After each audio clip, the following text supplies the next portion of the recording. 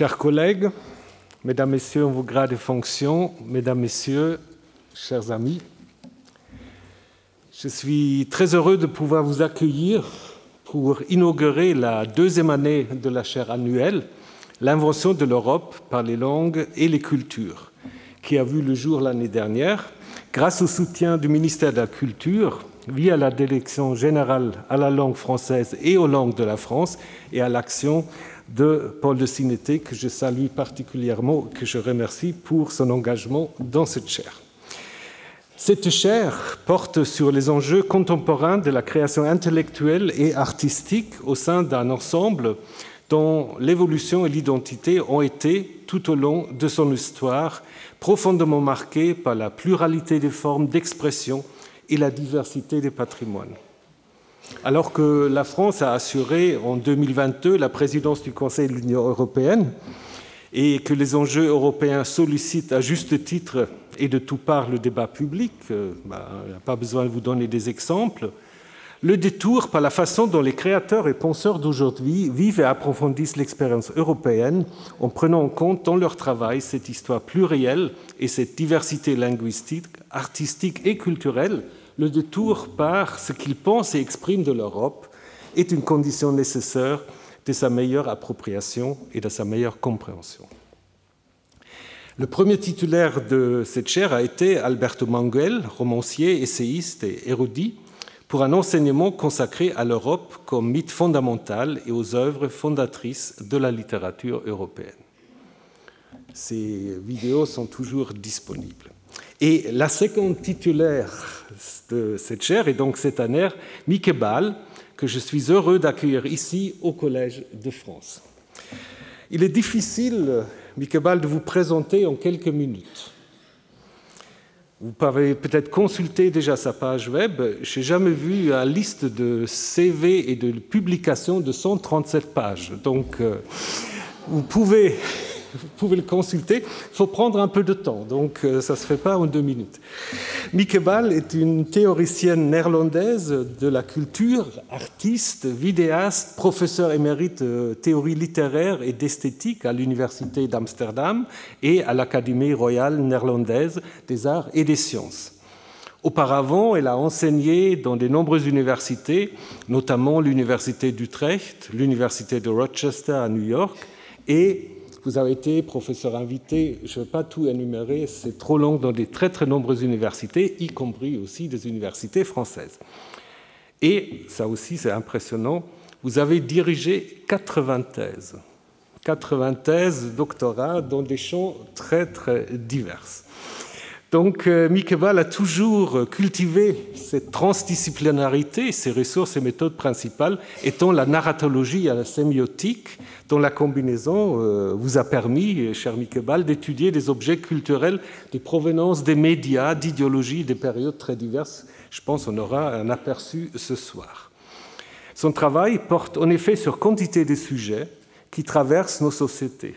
Et là aussi, je ne peux pas tout nommer, euh, je nommerai que l'esthétique de l'art du XVIIIe siècle en rapport avec l'art contemporain, le féminisme, la maladie mentale, les formes de la narration et la Bible, je reviendrai quand même un peu sur la Bible.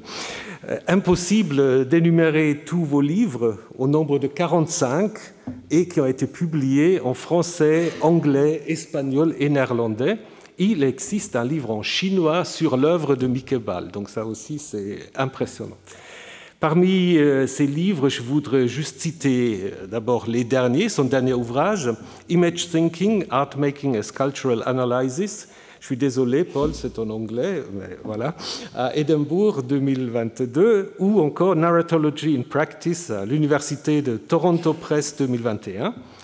Et euh, comme je vous ai dit, ce qui m'a évidemment intéressé, euh, Ball a publié des livres très importants sur l'analyse des récits bibliques, notamment sur le livre des juges, qui est un livre euh, complexe et compliqué. Et en français, je voudrais juste citer Meurtre et différence et Femmes imaginaires, l'Ancien Testament au risque d'une narratologie critique. Euh, cette trilogie de livres bibliques vous a d'ailleurs valu euh, le prix du meilleur livre en Bible hébraïque de la Biblical Archaeological Society en 1991. En plus de vos ouvrages classiques, vous avez développé toute une œuvre originale de vidéaste. Vous avez créé euh, ce que vous nommez des vidéos-essais d'une grande perfection formelle, notamment à partir des grands classiques européens comme Don Quichotte, Madame Bovary et d'autres. Ces vidéos sont tournées dans plusieurs pays européens avec des comédiens de toutes nationalités, dont chacun dans la vidéo parle sa propre langue maternelle. Vous avez aussi analysé des images biblique. Je vous euh, renvoie au petit interview que vous avez donné. J'étais particulièrement, mais je ne vous le détaille pas, particulièrement convaincu par l'analyse de euh, Joseph et Madame Potiphar. C'est Rubens, si je me souviens bien. Voilà, donc euh, vos travaux ont été largement récompensés sur le plan international. Vous avez reçu de 1996 à 2021 six doctorats honoris causa vous êtes membre euh, étranger de l'Académie norvégienne des sciences des lettres et j'en. Donc il n'y a pas à douter que vous allez illustrer de manière originale et remarquable cette chaire portant sur l'invention de l'Europe par les langues et les cultures. Donc comme pour toutes les chaires annuelles, votre enseignement consistera en une leçon inaugurale ce soir, huit cours et un certain nombre de séminaires avec des invités extérieurs et enfin un colloque international. Le thème majeur dont vous allez traiter est celui qui donne son titre à la leçon euh, inaugurale, vous l'avez ici, un rêve culturel, le rap au pluriel. Donc il s'agira d'analyser, ben, vous allez le voir, en entendre, à travers les œuvres culturelles, l'aspiration à vivre ensemble d'un continent paradoxalement uni par les différences entre les cultures nationales et où l'altérité est devenue une condition du lien. Cher Mikebal, nous sommes très heureux de vous avoir parmi nous pour cette année et je vous laisse la parole. Merci beaucoup. Merci.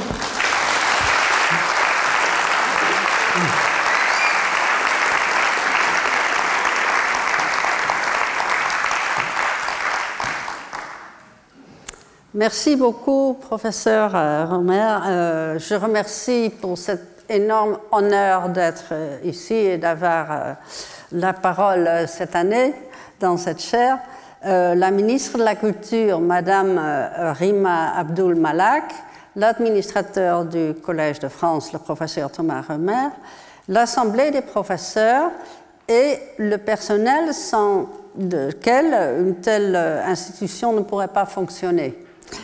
Et je remercie aussi le ministère de la Culture et plus particulièrement la Direction générale à la langue française et aux langues de France.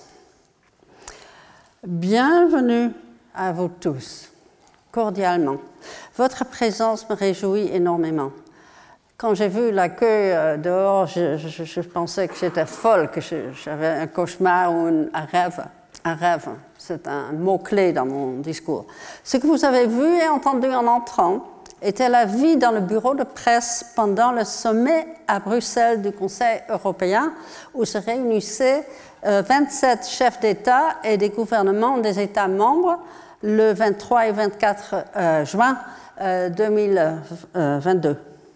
La rumeur multilingue a été enregistrée en iPhone par la correspondante en France de l'agence France Presse, Ulrike Koltermann, voisine et amie dans le 11e arrondissement, où le trottoir au coin de notre rue porte l'inscription Bienvenue à Babelville. Il est vrai, notre quartier est multiculturel ou plutôt interculturel. La différence reviendra. L'enregistrement souligne le vague qui rappelle le mythe de Babel, le multilinguisme pour l'actualité. Avant de continuer, est-ce que vous m'entendez bien au bout de la salle aussi? Ok, très bien, merci. Euh, pourtant, c'est le service de presse, c'est-à-dire des personnes engagées à travailler dur pour que partout en Europe, nous soyons informés de ce que ces seigneurs détenteurs du pouvoir décident. Cette fois concernant l'élargissement de l'UE et la guerre de la Russie contre l'Ukraine. L'Europe pourrait être l'équivalent de Babel comme continent. Le contraste est fort avec un autre moment où on s'imaginait ce que c'est que l'Europe, datant de 70 ans, lorsque l'invention de l'Europe comme union battait son plein. Je parle des photos du pionnier de la photographie, euh, photographie de rue, euh, théoricien du moment décisif euh, comme définition de la photographie, Henri Cartier-Bresson. En 1955, il publia un livre avec une couverture par Jean Miro intitulé Les Européens, titre programmatique pour le processus de l'invention de l'Europe, donc pertinent pour notre réflexion sur cette invention à la chaire annuelle. Le titre n'accentue ni la géographie, ni la politique, ni l'économie, ces trois piliers de l'idée de l'Europe, ni même les mythes métaphores dont mon prédécesseur a si superbement exposé les origines, développement, aspects, sens et leurs effets, mais le côté humain, les populations dans les pays de l'Europe. Les photos ont été faites pendant cinq ans des balades de l'artiste entre 1950 à 1955 et j'étais légèrement déçue de voir qu'il a limité cette idée aux pays les plus grands et leurs villes les plus connues, limitation qui date le livre. L'artiste a choisi pour son titre, son titre l'article défini, les Européens, tandis que la langue française offre l'option de l'article partitif, des, Européens, un échantillon d'Européens possibles, sans l'ambition de les présenter tous. Les Européens indiquent la vision de l'Europe de l'époque quand seulement les grands pays comptaient. D'ailleurs, en 1900, je viens de découvrir qu'en 1997, une nouvelle édition de ce livre parut chez les éditions du Seuil avec l'article partitif des Européens. C'est significatif, n'est-ce pas? Mais c'est le côté tradition qui frappe, avec la fierté qui l'accompagne. L'invocation de tradition regarde vers le passé, souhaite préserver et accentuer les différences. Ce qu'il présente, présente existait déjà. C'est le contraire de l'invention. On voit ce à quoi on s'attend. Des images qui, comme l'artiste l'écrit dans sa préface, citation, surprennent par la combinaison de nouveauté et familiarité. Fin de citation. Mais la familiarité, euh, prédomine dans les vêtements, occupations, cadres et classes sociales. Des femmes construisant des bâtiments en URSS, des hommes fêtant une victoire sportive dans le pub en Irlande, des reconstructions de ruines en Allemagne, des sculptures antiques sur des maisons modernes en Grèce et la haute société anglaise, ici à droite. Des traditions géographiquement et historiquement très différentes. Et on ne voit rien d'autre de l'autre côté de l'invention continue de l'Europe. Un souhait de rapprochement, de mélange. Ces photos sont des œuvres d'art de qualité superbe, j'ai rien à redire à cette qualité. Le sens du déjà vu nous rend conscients des changements continus dans la façon de voir, si importante dans ce processus de création. Pour rester conscient aussi du caractère trompeur des traditions, relisons le rappel de Jean-Luc Nancy dans La communauté des œuvrés que la nostalgie est un fantasme occidental citation, l'Occident depuis ses débuts. À chaque moment de son histoire, il s'est déjà livré à la nostalgie d'une communauté plus archaïque et disparue, à la déploration d'une familiarité, d'une convivialité perdue.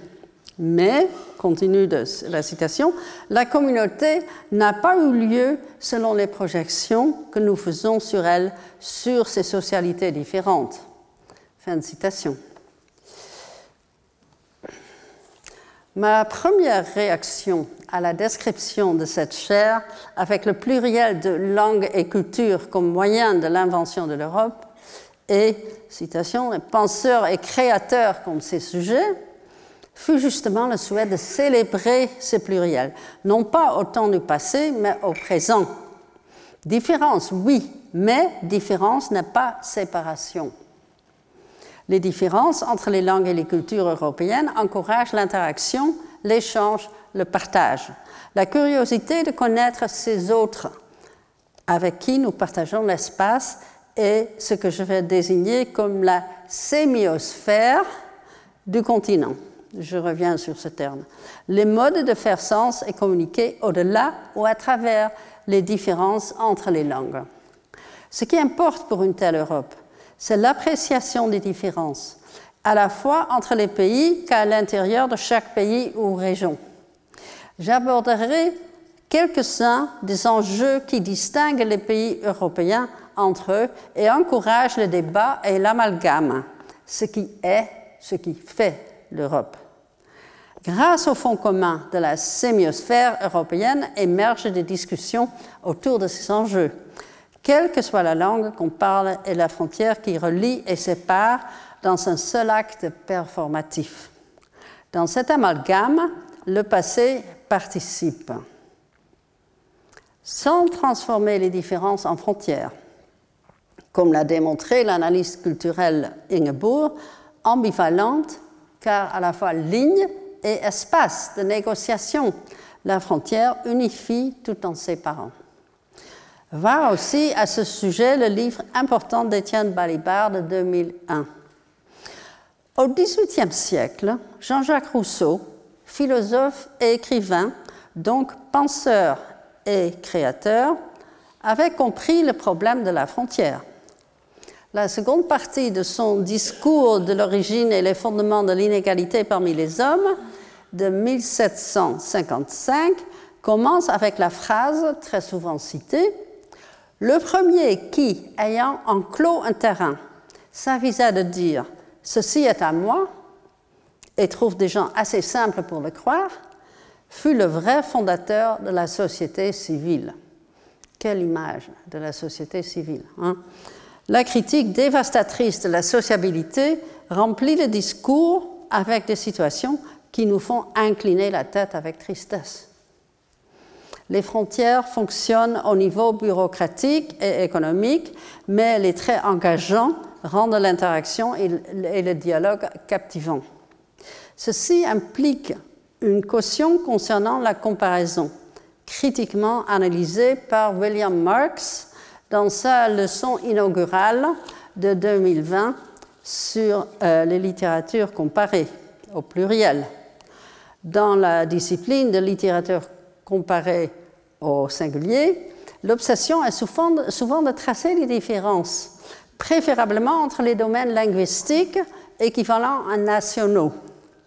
Marx critique le concept récent de littérature mondiale ou globale destiné à éteindre l'idée du canon sans questionner la hiérarchie qu'elle implique.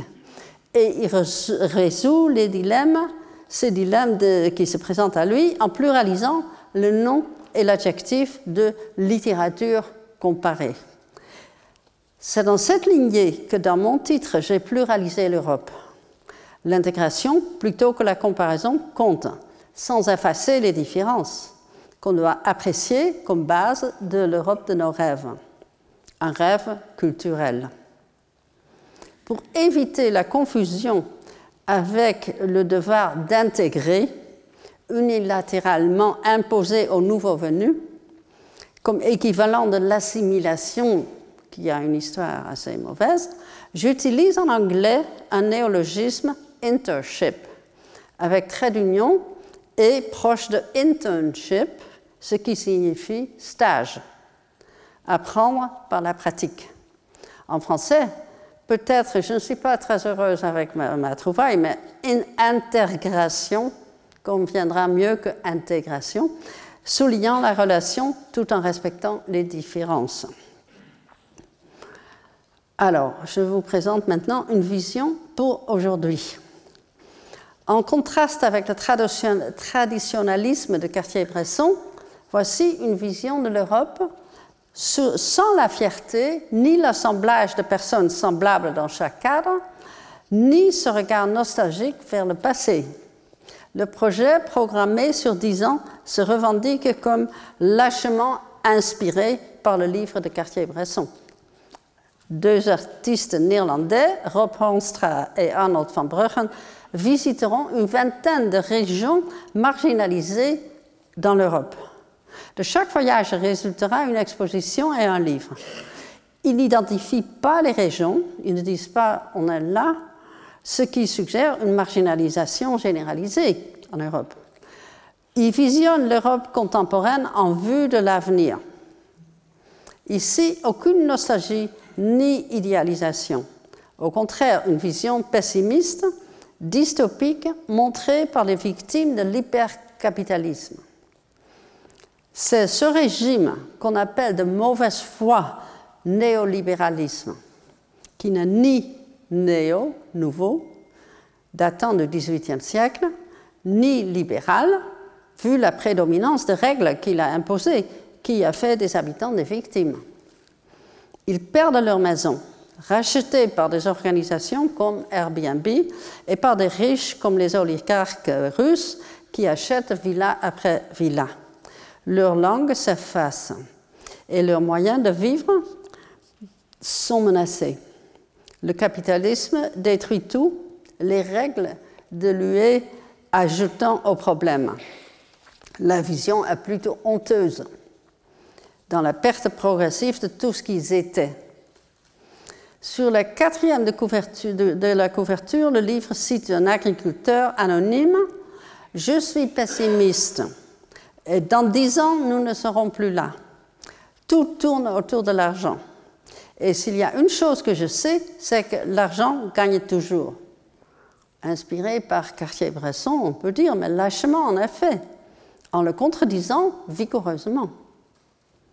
Les habitants de la région, que je devine être dans ce cas le Pays basque, résistent à la perte de leur monde par des fêtes annuelles exubérantes où le vin coule à flot et un spectacle suspend l'esprit sombre. Leur instrument, la mascarade, l'outil de la honte, pour qui veut cacher son visage et se transformer en un autre. Ils se peignent la figure en noir ou en rouge, se posent des masques faits de peau d'animaux et se coiffent d'un chapeau de chasseur armé de plumes et d'autres traces d'animaux morts. Quelques-uns s'habillent dans un costume de peau d'ours dénonçant le retour de cet animal dangereux que les règles de l'UE leur interdisent de chasser. Ce spécimen est mieux protégé que les humains. De la même façon, le retour du loup fait peur aux Pays-Bas, où les moutons et les veaux peuvent facilement être victimes de cet animal carnivore. Peut-être que les règles changeront après qu'un bébé aura été dévoré. Les acteurs joue des rouges et des noirs, et à la fin, l'homme ours commence à bondir autour des rouges, poussant des cris sauvages. Les habitants interprètent la barbarie qui leur est attribuée de l'extérieur. C'est une auto-représentation ironique. Les barbares, c'est nous. Dans la lignée de la phrase sans doute apocryphe, Madame Bovary, c'est moi. Phrase d'ailleurs que j'ai mise à jour euh, comme Emma, c'est nous, dans le film Madame B, réalisé avec l'artiste anglaise Michelle Williams-Garnacker, et dont l'acteur principal qui joue les trois hommes est ici présent. On en parlera le 2 décembre avec la sociologue Eva Illouz. C'est une identification. Cette mascarade défie les visiteurs touristes avec un spectacle traditionnel mais inconnu d'eux. Ce n'est pas un retour nostalgique vers le passé, mais une provocation du présent, affirmant la persévérance des habitants de la région, leur exigence d'avoir un avenir. Comment surmonter les conséquences invivables de ces exemples? Babel, où personne ne se comprend. La nostalgie, un regret du temps perdu. Le pessimisme vivant du désespoir il faudra inventer une Europe enthousiaste des différences, qui sont sa principale richesse et qui la rendent unique. Ceci requiert l'intégration, selon mon néologisme.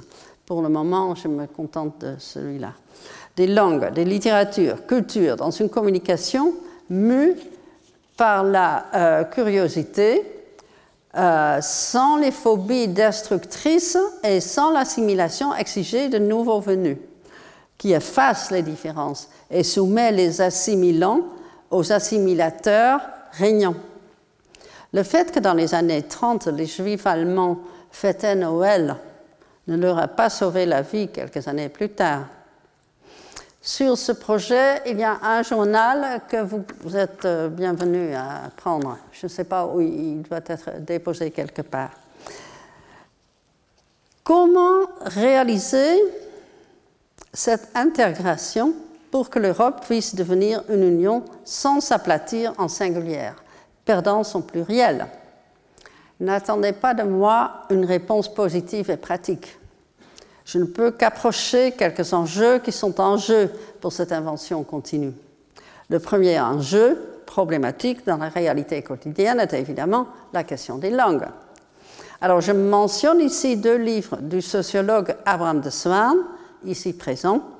En 2001, il publia un traité sur la multiplicité des langues et la prédominance de l'anglais partout dans le monde en 2022 un livre contenant ses cours au Collège de France de 1997. La société transnationale, avec le sous-titre au pluriel Langue, culture et politique.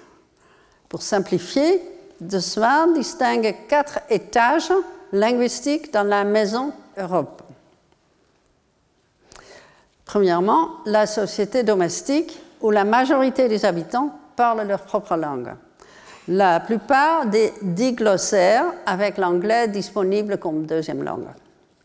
Deuxièmement, dans la société civile transnationale dans l'Union, comme il le formule, l'anglais domine avec quelques compétitions du français vers le sud et de l'allemand vers l'est. Troisièmement, au niveau cérémonial et légal, le traité oblige les institutions à traiter toutes les langues des États membres en égalité.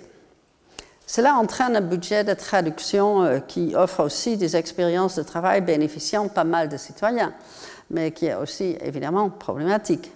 Et quatrièmement, dans les communications internes informelles, dans les commissions, le français est aussi important que l'anglais même si l'équilibre entre les deux langues reste fragile. L'anglais est devenu un instrument, mais le français a une longue histoire comme langue internationale culturelle. De Swan offre un outil pour négocier les difficultés et accepter ce qui est difficile, comme la prédominance de l'anglais. Mais il mentionne aussi les avantages sociaux et pratiques du multilinguisme et recommande l'apprentissage d'une troisième langue. Mais à l'intérieur des domaines linguistiques jouent aussi des détails sans importance évidente, comme l'écriture et la prononciation des mots de tous les jours, des abréviations. C'est en visant ces enjeux que je parlerai de la sémiosphère. Ce n'est pas pour renforcer les règles de l'encodage et de décodage de la sémiotique, mais pour adopter, adopter des comportements linguistiques qui échappent à cette pensée systématique. Des détails quasi négligeables qui font du locuteur soit quelqu'un qui appartient, soit quelqu'un qui reste un étranger. Que veut dire, par exemple, cette maman à propos de son enfant? C'est sympa, il a son ami et après il part en colo. Est-ce que vous comprenez tous ce qu'elle dit? Moi, ça m'a pris un moment. Hein. Le dictionnaire n'aide pas vraiment. Souvent, pour des noms propres, il suffit de déplacer l'accent. Un français de souche, désolé euh, William, un français de souche avec un prénom anglais et un nom de famille allemand, pour alluder à notre cher collègue en littérature comparée avec pluriel, au pluriel, il suffit de déplacer l'accent du prénom de la première à la dernière syllabe, et voilà, totalement français. William. Il y a des solutions dont la traduction par ordinateur vient comme une aide importante, à moins de se heurter, comme c'est mon cas, au logiciel qui refuse d'accepter le premier E dans mon prénom. Résultat, Mieke devient Mike. Une femme européenne devient un homme américain. Méfions-nous de la confiance aveugle dans les machines. Alors, je passe au, sujet, à l'enjeu suivant. Intégrer l'imagination. Je recommande le mélange de l'intellect et de l'imagination, caractéristique des objets, approches et questions de recherche dans les sciences humaines. Le domaine des penseurs et créateurs, mentionné comme inventeur de l'Europe dans la description de la chair. Les œuvres se répondent et répondent aux différences. Là réside le pouvoir d'invention des langues et cultures plurielles avec leur recours à l'imagination, la créativité. Ce sont moins les règles que les idées inouïes qui unifient cette grande et magnifique diversité. La liberté d'esprit permet la création d'idées comme résultat de l'intégration du penser et du faire, activité du créateur-penseur. Les règles faites pour unifier font souvent le contraire. Je repense à deux interventions d'une amie très chère, hélas prématurément décédée, Nanou. Son nom officiel, c'est Annie Navarro euh, Martino. Elle était prof de français dans le secondaire à Paris, gauchiste convaincue et fière de la culture et littérature française qu'elle aime beaucoup. Un jour, elle annula un rendez-vous qu'on avait pour aller manifester, un passe-temps euh, favori en France, non? Aujourd'hui, on, se rappelle, hein? Et elle manifestait contre l'interdiction des fromages au lait cru banni par le nouveau régime de Bruxelles. Priver les gens d'un plaisir gastronomique relevait des nombreuses causes pour lesquelles elle allait manifester. Et pour moi, c'était surtout la réglementation même à laquelle elle s'opposait, ce qu'elle a confirmé après coup. La deuxième intervention était beaucoup plus importante. Nanou enseignait dans une école où beaucoup d'élèves étaient d'origine étrangère qui avait du mal à apprendre ces petites propriétés de la grammaire, dont les accords du participe passé. J'ai pas mal galéré moi-même avec ça. Hein. Son engagement avec ses élèves était aussi radical que son gauchisme. Donc, plutôt que de leur infliger des devoirs supplémentaires et de mauvaises notes, pendant de longues soirées, elle écrivait une pièce de théâtre du genre policier où l'intrigue et les personnages incarnaient les règles. Les élèves étaient enthousiastes d'apprendre les lignes de la pièce par cœur, puisque, euh, et puis de les jouer avec leur voix et leur corps. Ainsi, ils s'appropriaient ces règles récalcitrantes. Qui a tué le participe passé était le titre, qui intégrait le genre policier, l'intervention avec la grammaire. La pièce fut un succès éclatant. L'apprentissage de la grammaire se transformait de souffrance en plaisir. Les progrès des élèves furent éblouissants et c'était une œuvre littéraire brillante. La participation active des élèves leur a appris bien plus que les règles de la grammaire.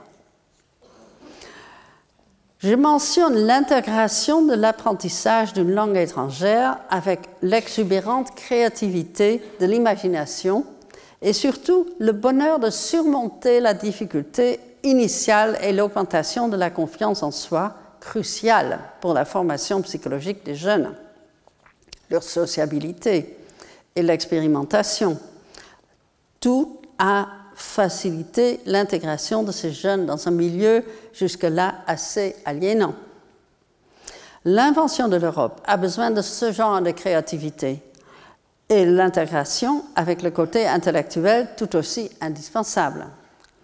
Si je me suis mise à partir de 2002 à réaliser des films, c'est en vue de cette intégration. Et à sa base, à la préposition inter, ou en français entre. Entrons dans entre. Il faut laisser tomber l'idée de l'identité européenne, fanatiquement poursuivi, surtout par des partis populistes, en faveur de celle plus interactive et active d'une identification avec des personnes, idées, phénomènes de son choix. L'identification n'est pas un trait, mais c'est un acte dans le présent, orienté vers l'avenir. Euh, euh, oui. Alors, le défi pour l'Europe est alors de choisir avec quel projet et idée chaque pays, chaque personne s'identifie. L'identité n'est pas quelque chose que nous avons, mais que nous devons réaliser dans une pluralité d'identifications possibles. L'idée d'une identité européenne empêche plutôt que d'encourager de faire partie de l'Europe, car elle fixe et définit et sépare. le sinologue français François Julien, l'auteur libano-français Amin Malouf et l'historiographe américain Hayden White m'inspirent en cela, chacun des autorités dans leur domaine respectif. Julien rejette la recherche de l'identité pour son obsession avec l'altérité. Il propose un vis-à-vis entre les personnes et les cultures. Car, dit-il, le commun n'est pas le semblable. Il rejette l'universalisme, tout ce que je cite, c'est sur la diapo. Hein.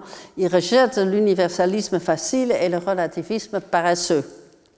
Du titre de son essai, L'écart et l'entre, ou comment penser l'altérité, je tire les deux mots-clés écart, acceptation de la différence, et entre, comme subjonctif pour son insistance sur la relation qui exclut l'indifférence aussi bien que l'appropriation. Julien affirme La finalité même de la différence est d'identifier et il n'y a pas d'identité culturelle possible. Car, se demande-t-il, cet étiquetage des différences culturelles peut-il échapper à l'ethnocentrisme Il préfère l'écart comme prise de distance avec un vis-à-vis, ce qui permet une tension productive sans hostilité ni indifférence. Hardy et sans merci, Malouf a titré son livre Les identités meurtrières. Il faut le faire. Hein Il rejette la recherche d'une identité nationaliste ou religieuse qui sont pour lui aussi euh, euh, quasi identiques dans leurs effets qui mettent le couvercle sur l'imagination, invoquant quelques personnes situées entre les cultures, religions ou ethnicités. Dès le début, il donne à ces personnes multiculturelles la tâche de devenir interculturelles, de tisser des liens, dissiper des malentendus, raisonner les uns, tempérer les autres, aplanir, raccommoder, ils ont pour vocation d'être des traits d'union, des passerelles, des médiateurs entre les diverses communautés, des diverses cultures. Pour lui, c'est une exigence de réciprocité qui est à la fois souci d'équité et souci d'efficacité. Comme Abraham de Swan, Malouf recommande le trilinguisme, la langue maternelle habituelle comme première, l'anglais utile comme la troisième, et entre les deux, une, autre langue librement choisie.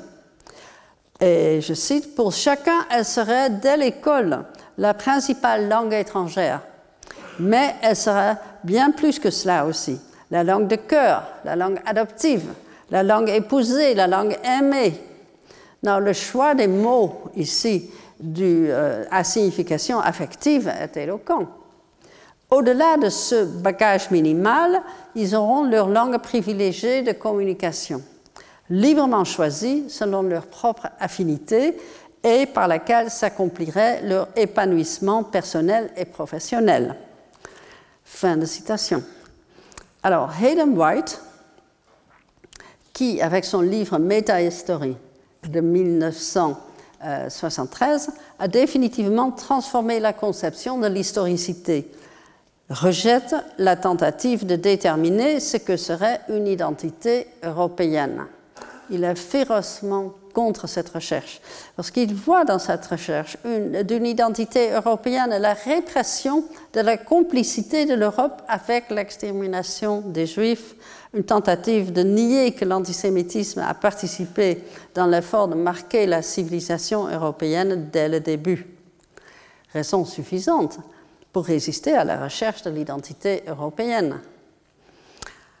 Avec ces trois critiques, je propose la construction d'une relationnalité entre, pas basée sur des propriétés, mais sur une identification active facilitée par l'intégration de la pensée et de l'art, ce double créateur d'idées. Avec les idées, on peut s'identifier. Pour conclure, provisoirement, ce qui compte, ce n'est pas les traits, mais les traits d'union.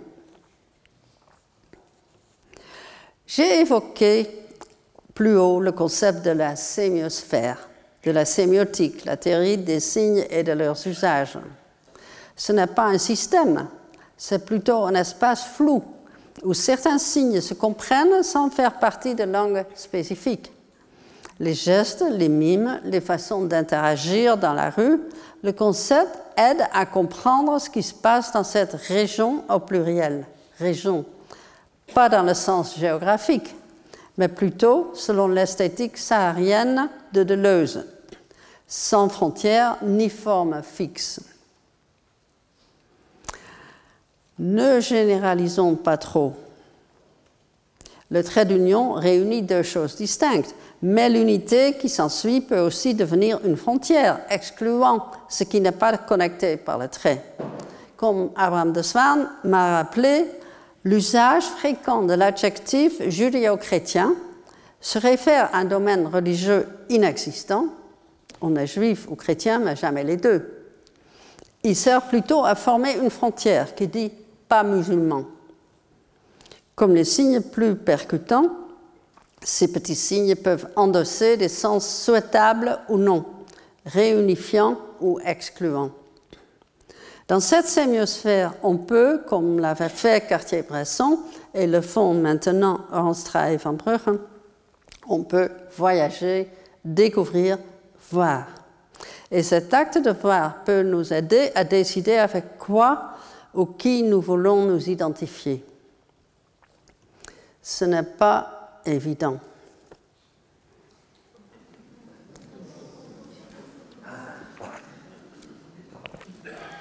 avec la précarité de l'état actuel du monde, les conséquences désastreuses du Brexit, l'invasion russe en Ukraine, l'agressivité contre les demandeurs d'asile entre la Pologne et le Bélarus, et de plus en plus, à ma grande honte, aux Pays-Bas aussi, et la menace du retour de Trump, entre tout ça, il semble non productif de considérer spécialement l'Europe quand nous voulons comprendre comment le sens émerge dans certains contextes. Europe semble plutôt enchâssée dans l'esthétique saharienne, une non-forme constamment en mouvement et changeante. En devenir, pour invoquer un autre terme de leusien. Cette instabilité mine les frontières de la sémiosphère. La délimitation de la région culturelle où faire sens suit des conventions qui rendent les sens transmissibles ou avec un américanisme partageable.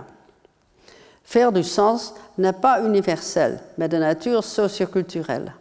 Les outils de faire sens ne sont pas limités à une connaissance des langues. Pour faire sens, il faut écouter, dialoguer, la rétrospection, la créativité d'imaginer d'autres possibilités. Il faut lire des traces. Source de récit, selon le livre euh, superbe de l'artiste français Mathieu Pernaud. Sens émergent dans ces rencontres. Il faut analyser la production du sens sans la simplicité de la rigueur du dictionnaire, ainsi que sans éliminer l'affectivité incluse dans la subjectivité.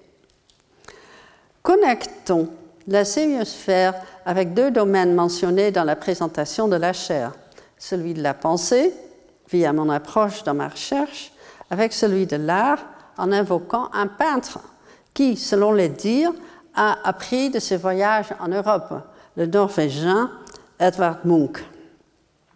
D'abord le côté universitaire. Dans un volume publié à l'occasion du centenaire du sémioticien proéminent Juri Lotman, l'estonien Peter Torop commence son chapitre sur la sémiosphère en disant que ce concept marque la transition chez Lotman vers une analyse culturelle dynamique. Il continue que le concept a voyagé d'un champ terminologique vers d'autres. Et termine sa demi-page introducteur, euh, introductrice ainsi. Sémiosphère signale la complémentarité des disciplines qui étudient la culture, le mouvement vers la création d'une théorie générale de la culture et une méthodologie flexible. Une tâche lourde. Trois idées dans cette demi-page sollicitent mon identification. Analyse culturelle, le concept à voyager et une méthodologie flexible. La première, l'analyse culturelle, constitue la base de l'Institut de recherche ASCA que j'ai cofondé à l'Université d'Amsterdam en 1994. L'insistance sur l'analyse sied l'engagement de Lotman à ce qui en France a une longue tradition, l'explication de texte, ou en anglais close reading. Je regrette l'abandon de l'apprentissage d'une analyse détaillée, attentive à la spécificité des idées et des formes dans chaque artefact. L'analyste devrait admettre qu'en citant ou alléguant des artefacts, ces derniers peuvent répondre à l'analyse. Pour donner la parole aux œuvres, il faut relire la citation en rapport avec, ce qu'on a écrit avant de les citer. S'il y a des choses qui clochent dans cette comparaison rétrospective, tant mieux. C'est ainsi qu'on apprend. La deuxième idée est le sujet de mon livre Traveling Concepts in the Humanities, les concepts baladeurs dans les humanités, actuellement en traduction au français. Et la troisième idée a été un engagement durable dans ma recherche et enseignement. Je n'ai jamais accepté les frontières rigides entre les disciplines qui empêchent de faire des sauts imaginatifs et créatifs.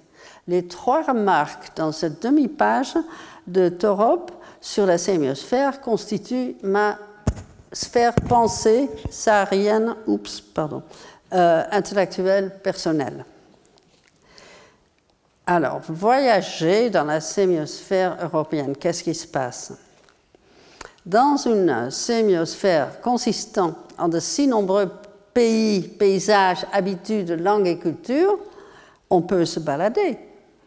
Voyager est devenu tellement normal que les limitations dues à la pandémie ont été ressenties comme une privation pénible. Mais les voyages auxquels on est si habitué concernent le plus souvent l'économie, ou le loisir, les affaires ou le tourisme. Cette motivation risque de perdre de vue quelque chose de précieux duquel voyager pourrait être une métaphore à la fois qu'une réalisation. Voyager dans la sémiosphère européenne est une façon d'apprendre et l'expérience peut apprendre aux voyageurs à exercer l'équilibre délicat entre le familier et le nouveau dont Cartier-Bresson faisait mention. Il y a un siècle, voyager avait une toute autre fonction que tourisme ou affaires, une fonction éducative, un apprentissage, comme un stage. La diversité des pays, langues et cultures devenait un avantage plutôt qu'un problème. Lorsque le jeune peintre Edvard Munch participait à une exposition collective à Christiania, aujourd'hui Oslo, en 1886, un journal local écrivait que l'artiste devrait obtenir une bourse pour voyager afin d'apprendre davantage. Voyager, c'était une façon libre d'apprendre, une expérience éducative au-delà de l'académie. Aujourd'hui, ce serait comme les jeunes avec sac à dos prenant une année de transition entre le bac et la fac. Le journal avait raison. Munch allait devenir le plus grand peintre de l'art norvégien et au-delà. Maintenant, exposé, vous avez de la chance, exposé au musée d'Orsay. Tout en expérimentant la solitude que voyager seul entraîne. Ces deux réalisations sont liées. La façon dont voyager avait cet effet transformatif qui démontre qu'il a pris davantage résulte du voyage comme stage, comme internship. Quelques peintures des années 1890 euh, le démontrent.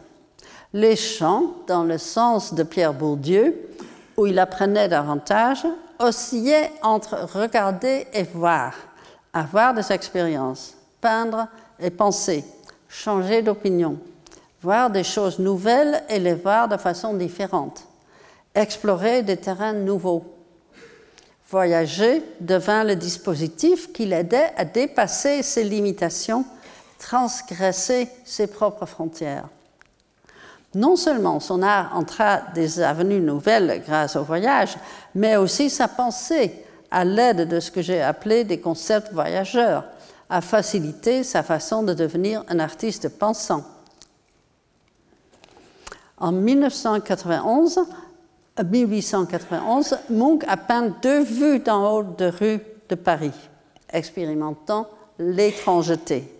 Les deux œuvres, rue Lafayette et rue de Rivoli, ensemble explorent l'indifférence, la curiosité, l'effort et l'inaccessibilité. Et toutes deux présentent la hauteur comme forme de la distance visuelle. L'homme dans la rue Lafayette n'engage pas la ville. Les coudes reposant sur le balustrade, balustrade, il est simplement là, debout. Sa pose ne suggère pas un regard actif. Il semble plutôt résigné à son incapacité de voir. C'est comme s'il est frappé d'impuissance par la vue d'en haut. Ce n'est pas étonnant en vue de l'autre peinture, rue de Rivoli. Et la question que les deux ensemble posent, comment peut-on devenir un voyageur regardeur? L'espace entre les deux côtés de la rue est plus étroit que dans l'autre vue. On ne voit que des flous et des points signifiant distance et vitesse. C'est une figuration de la vie urbaine. À distance, ou une rue transversale désignée par des taches et des points entre la rue principale, la fin triangulaire indique avec ironie l'idéalisation de la perspective linéaire trompeuse dans l'histoire de l'art depuis la Renaissance. Dans la moitié basse de l'image, on voit des voitures, des chariots et sur le trottoir des gens qui marchent.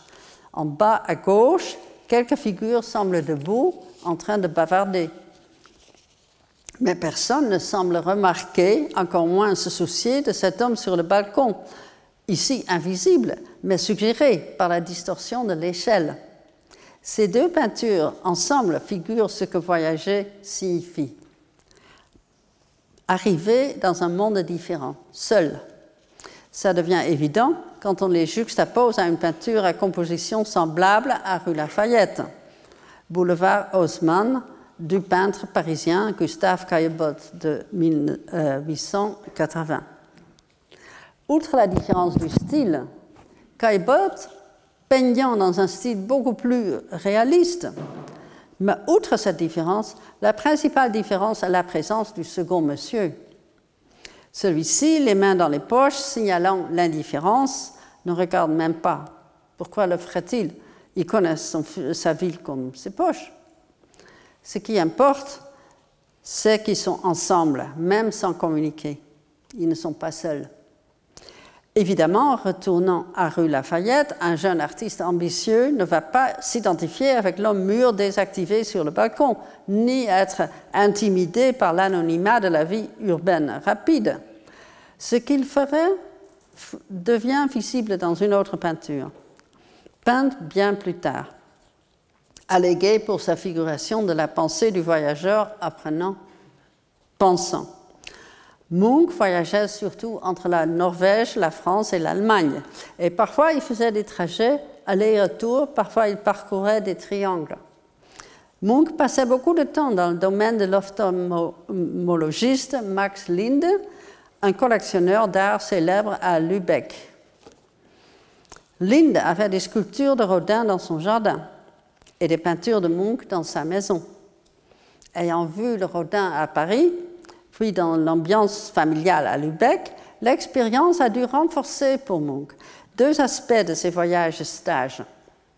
Le souvenir de la sculpture large avec le menton sur la main aurait suggéré à l'artiste l'ambiguïté de l'iconographie de la mélancolie, thème qu'il peignait souvent. Cela devient clair quand on croise le penseur de Rodin avec la gravure Mélancolia 1 de Durer. L'ambiguïté, est-ce que j'ai... Non, pas encore. L'ambiguïté visuelle est essentielle pour comprendre l'art comme encourageant l'identification. Et puis, ayant une tendance à la mélancolie et en avoir souffert encore plus pendant ses voyages, la confrontation constante avec la différence et l'indifférence, la pensée de l'artiste a pu être enrichie par l'idée de penser que Rodin avait superposé sur la mélancolie. Ajoutant de la couleur à la sculpture noire, du rose, du vert et un peu de bleu, Munch a intégré l'art de la peinture à celui de la sculpture. Il a connecté, identifié l'art de plein air avec l'art d'intérieur, ainsi que l'art de l'autre artiste et l'autre médium au sien. L'ombre du piédestal de la sculpture qui se termine par un triangle euh, à gauche, euh, ici on le voit un petit peu, euh, est une figuration de cette triangulation. Le contraste entre l'attention et l'indifférence et la mélancolie comme conséquence pour le voyageur pourrait bien avoir été une des idées que Munch a rapportées chez lui de ses voyages. Peindre la sculpture de Rodin avec sa pose traditionnelle de mélancolie pendant ses voyages, Munch connecte ici son voyage en Allemagne avec ses voyages à Paris, où il a rencontré cette autre signification de la figure avec la tête sur la main.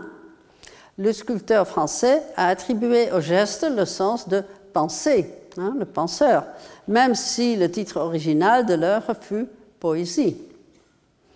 Ni mélancolie ni réflexion sont des significations fixes. C'est voyager dans la sémiosphère européenne avec la solitude et le souhait de devenir un regardeur qui met en mouvement ça à rien les actes intégrés de deux activités qui, selon la proposition de la chair, ont besoin d'être intégrées, penser et créer.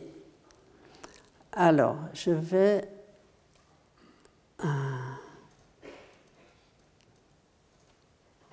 voilà. Est-ce que ça marche?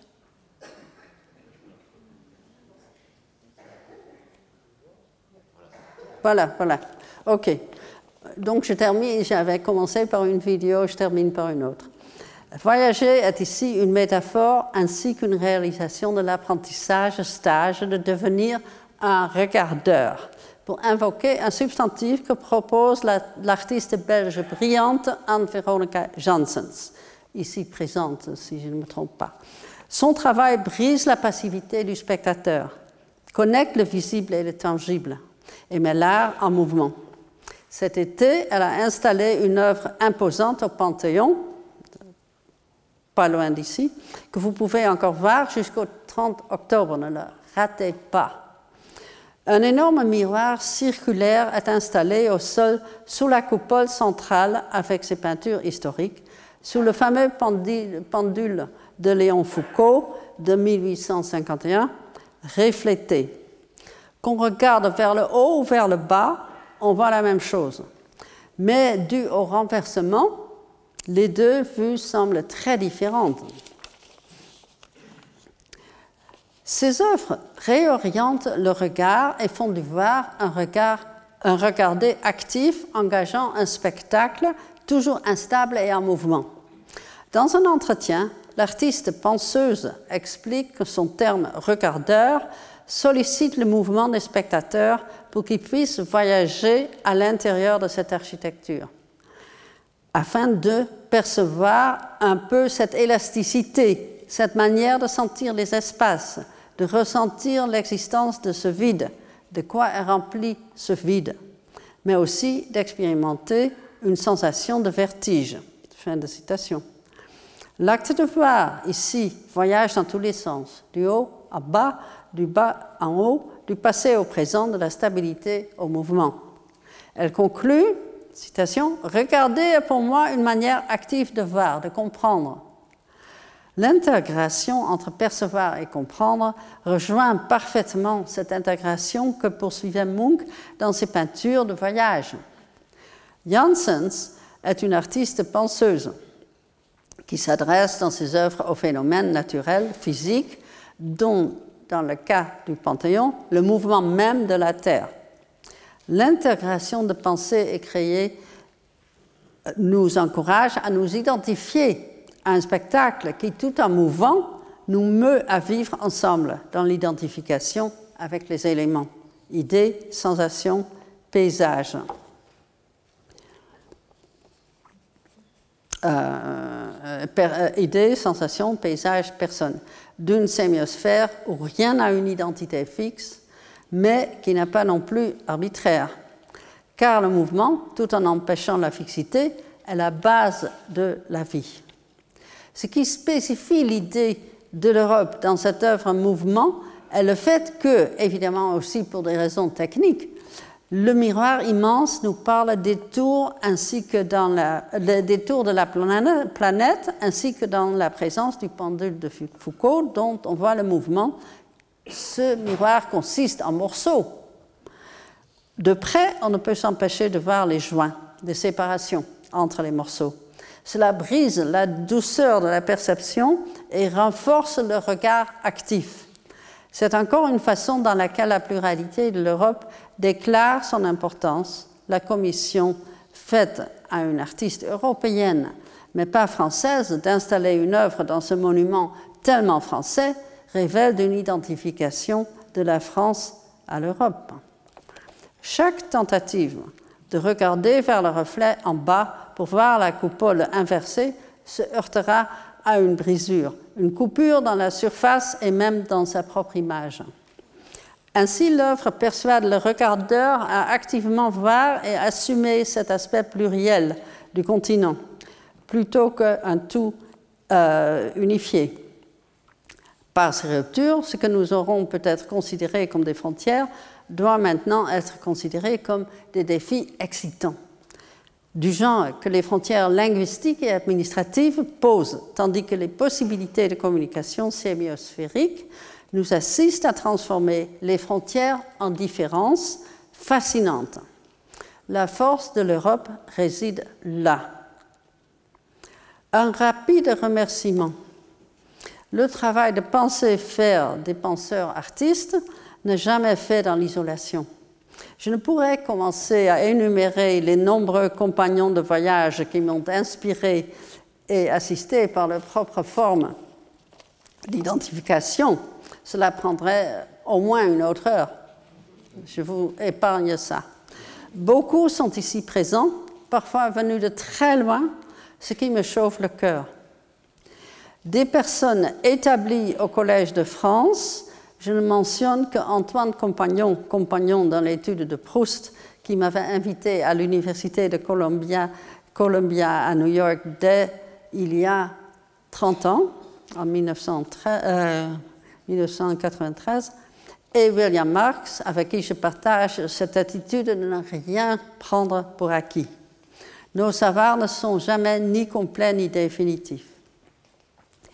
Je dois le plus à mon compagnon de vie, à vie, le grand penseur et identificateur Ernst von Alphen, ici présent, sans qui ce discours n'aurait pas pu être écrit. Beaucoup des idées que j'ai présentées proviennent de nos conversations pleines de créativité. Et merci à vous tous pour être ici et faire de ce moment quelque chose d'inoubliable, une fête. Je vous remercie d'être ici.